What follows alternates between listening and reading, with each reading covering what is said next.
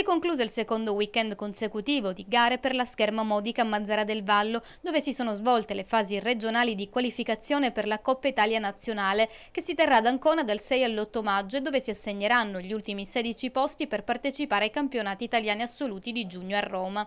Dopo le ottime prove degli under 14, anche gli atleti più grandi guadagnano 5 qualificazioni per la fase nazionale.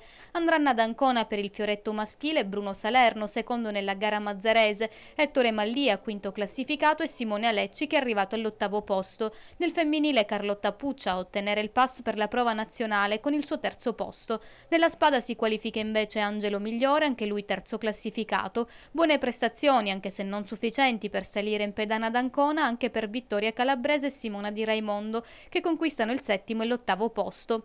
Ottimo debutto anche per gli atleti paralimpici nella prova regionale di spada maschile, categoria C, con Leonardo Napolitano, schermidore da poco più di un anno grazie al progetto avviato con la collaborazione con SOA. Secondo classificato dietro il più esperto Radicello di Palermo e Giuseppe Terranova quinto classificato.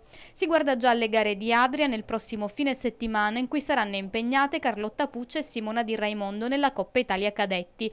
L'obiettivo conseguire la qualificazione per i campionati italiani Under 17 di Acireale che si terranno dal 15 al 17 maggio.